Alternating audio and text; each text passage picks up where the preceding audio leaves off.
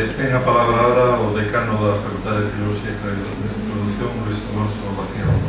Moitas gracias, eh, señor rector. Eh, moitísimas gracias a todas, a todos por estar hoxe aquí para este acto de homenaxe, naturalmente todos os participantes comigo nesta mesa. Eh, para min é un gran placer, unha grande honra como decano desta Facultade de Filosofía e Traducción estar neste acto de, de homenaxe ao profesor eh, Palacio eh, por moitos motivos, eh, moi en particular porque recordo moi ben o primeiro día que cheguei a esta facultade eh, eh, daquela ele era o decano desta facultade. Eh, era un día como este un día chuvioso, un día moi escuro que para min foi moi chamativo porque eu viña daquela de, de Granada que era todo o contrario. Sen embargo para min esta, esta, esta terra, este clima era moi bonito porque eu en realidade nací no norte eu gustaba de moito este, este ambiente. E recordo moi ben que falando do que comentaba anteriormente Xandre eh, dúas características cruciais do profesor Palacio, na miña opinión,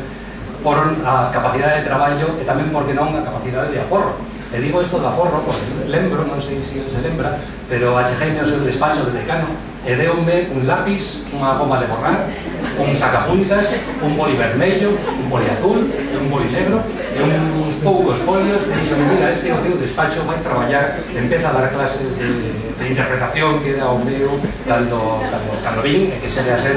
a día de, a día de hoxe. Eh, a mí chamou moito a atención, eran uns momentos difíciles nesta facultade, se a xente se, se lembra, eran uns momentos de cambio, esta facultade sempre estivo sometida a moitos momentos de cambio, eh, pero el foi un deses, eh, eu chamolles pais e nais, fundadores e fundadoras desta facultade, xunto con algúns e algúnas das profesoras que están hoxe aquí connosco. Eh, non quero esquecerme de ninguén, pero está aí a profesora Noia, por aí arriba está a profesora Dalgren, está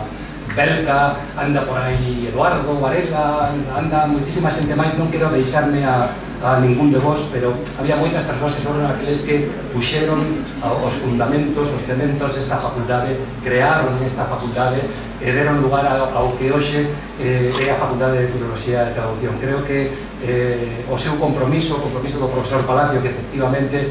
eh, é recordado, recoñecido por todos nós pola enorme capacidade de traballo que, que ten eh,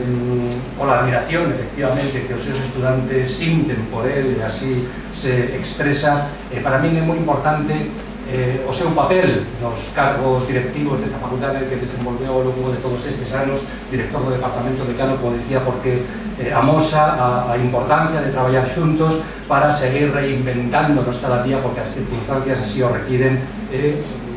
actualmente temos eh, retos diante de nós consistentes precisamente en reinventarnos e creo que, ainda que o camiño moitas veces é difícil, é un exemplo do que se pode facer traballando xuntos para reinventar esta facultade sempre que eh, sempre que é preciso. Eh, eh, rematar simplemente dicindo que por riba de todos eses elementos, todas esas cuestións, para min o que foi crucial é que dende o primeiro día fixome sentir como na miña casa. E iso é algo que lle agradezo enormemente porque así foi e de verdade que dende que cheguei síntome como na miña casa. Así que moitísimas gracias, profesor Palacio por, por a súa